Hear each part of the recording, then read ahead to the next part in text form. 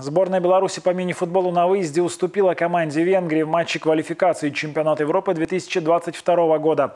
Игра завершилась со счетом 2-1. Единственный гол в составе белорусской команды на счету игрока гомельской БЧ Сергея Селивончика.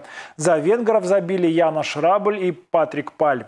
Мозырская «Славия» объявила о подписании контрактов с рядом игроков. Ряды команды пополнил бельгийский полузащитник Леон Ненго. Футболист уже успел отметиться забитыми за «Славию» мячами в нынешнем межсезонье. Из гомельского «Локомотива» в Мозырь перебрался защитник Илья Шабанов. Соглашение с клубом подписали воспитанники мозырского футбола вратарь Максим Шишлов и полузащитник Александр Дегун. Кроме того, сотрудничество с командой продлили Франсис Нарх и Никита Мельников. Из Мозыря в Гомель на предстоящий игровой год перебирается Евгений Иваненко. Голкипер Славии в середине минувшего сезона был отправлен в аренду в Гомель.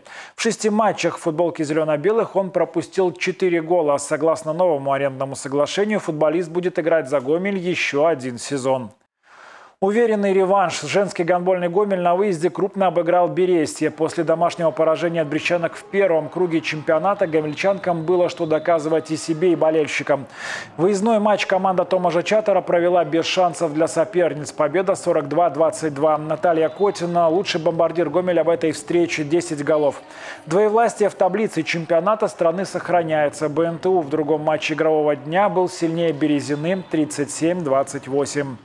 Мужской гандбольный «Гомель» продолжает удерживать вторую позицию в таблице национального чемпионата. На домашней площадке команда Андрея Мочелова уверенно взяла верх над столичным БГУФ КСК 37-30.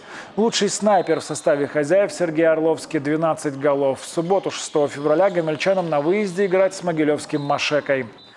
Сборная Гомельской области заняла второе место в общем зачете первенства страны по гребле на тренажерах. Соревнования проходили дистанционно. Состязались юноши и девушки в возрасте 18 лет и моложе. В личных соревнованиях у представителей нашего региона две серебряные и три бронзовые награды. В Минске состоялся чемпионат Республики Беларусь по стрельбе из лука в помещении. Гомельские спортсмены завоевали одну бронзовую награду. Никита Дубровский, Евгений Смольский, Даниил Кравченко и Артем Малаев стали третьими в командных состязаниях.